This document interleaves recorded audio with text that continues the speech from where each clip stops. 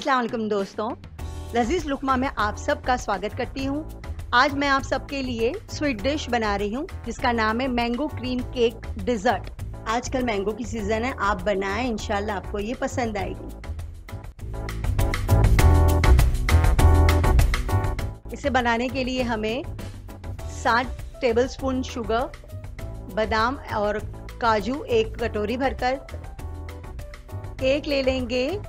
जो आपको आसानी से बेकरी में मिल जाएगा इसे फ्रूट केक कहते हैं। फ्रेश क्रीम ले लेंगे।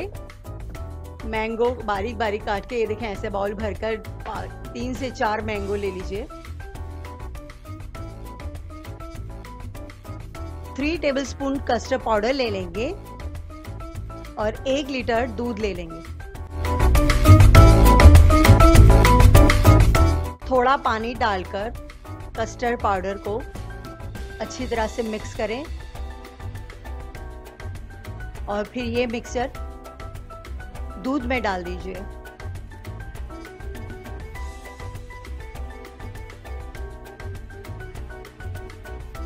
अब शक्कर भी डाल दें इसमें।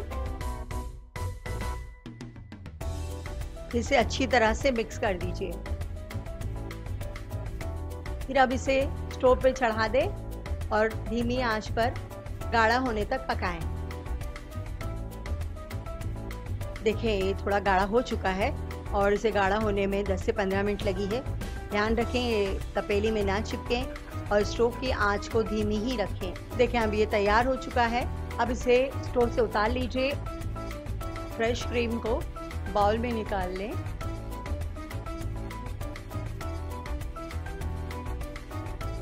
और फिर इसमें शक्कर डाल दें, जो हमने थ्री टेबल स्पून इसके लिए अलग से निकाली थी और उसे अच्छी तरह से फेंट लें। अच्छे से फेंटें। हमने बड़े बर्तन में ले लिया है क्योंकि उसमें आसानी से फेंटा नहीं जा रहा था। इसे अच्छी तरह से फेंटें ताकि गाढ़ा हो। केक की स्लाइस करते हैं? मीडियम साइज़ के। देखें, अब ये कस्टर्ड ठंडा हो चुका है। अब हम इसकी लेयरिंग शुरू करते हैं। सबसे पहले इसमें अच्छी तरह से केक फैला दें।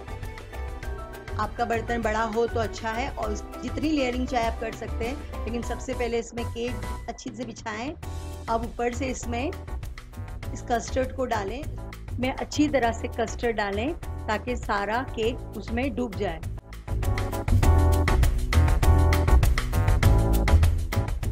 अब मैंगो को इसके ऊपर अच्छी तरह से फैला दें।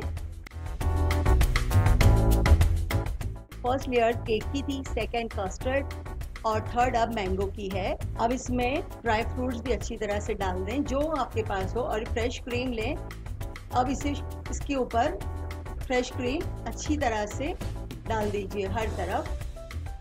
दोस्तों, आपके पास जो भी ड्राई फ्रूट हो, वो आप डाल सकते हैं। मेरे पास यहाँ पर अब काजू और बादाम थे तो मैंने डाल दी। इसके अलावा आप पिस्ता अखरोट जो पसंद करो डाल सकते हैं। अब देखिए दोबारा हमें इसमें केक बिछा रहे हैं।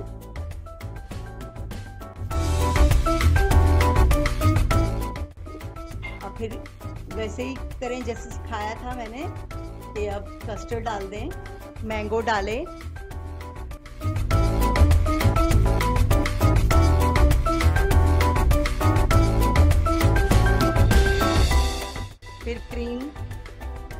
वैसे ही प्रोसीजर सारा।